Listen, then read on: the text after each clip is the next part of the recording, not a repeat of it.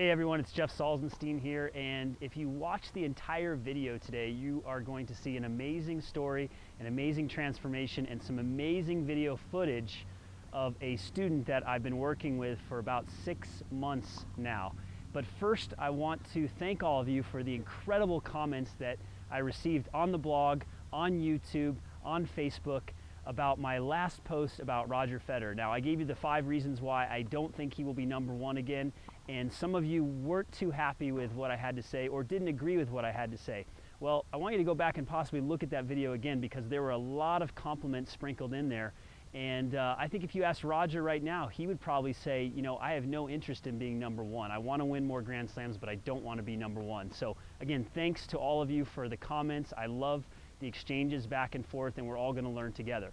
So now to today's video, today's amazing video that's going to talk about a very, almost a heartwarming story for me at least. Uh, as a coach, I get a chance to work with some amazing kids, and this guy is one of my favorites. He is in a program called Net Results, and Net Results is a program in Denver that helps people or helps young kids, uh, at-risk youth, uh, stay off the streets and using tennis as a tool to have a better life.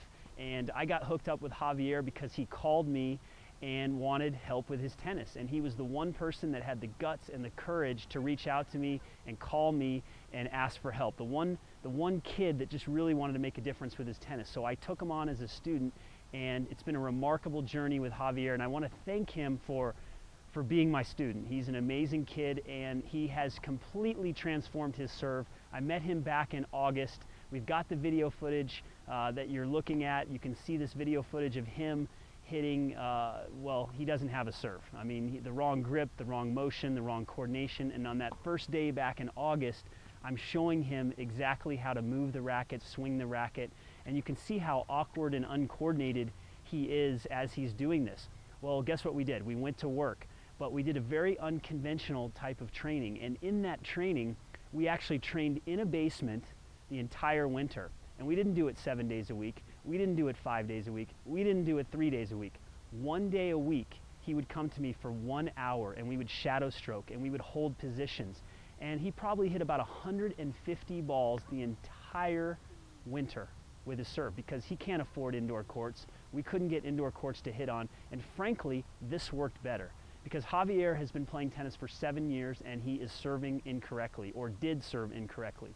Seven years of the wrong muscle memory. So we completely revamped it, revamped it. Not many kids would do this. Not many people would have the courage to make this type of change. And I commend Javier for doing this.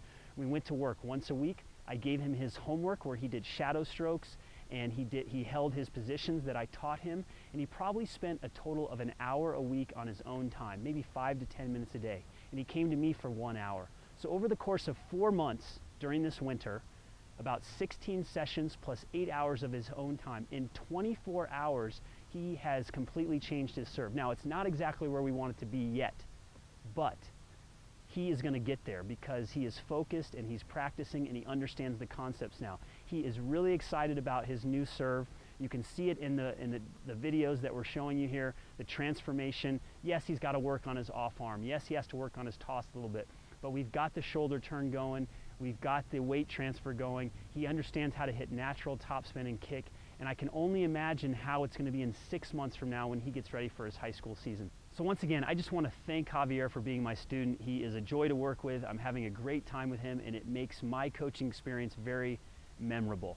Now, here's what I want you to do. Of course, I want you to watch the video and you've been watching it. Thank you for doing that. But I want you to leave a comment. Tell me what you think of his serve, how it's changed. If you have questions about how we went about doing this. I'll do my best to answer them, but really it's a, it's a revolutionary concept what we've done. We've changed his serve in four months just by making these shadow strokes and giving him his homework and, and doing and holding the positions that I've taught him.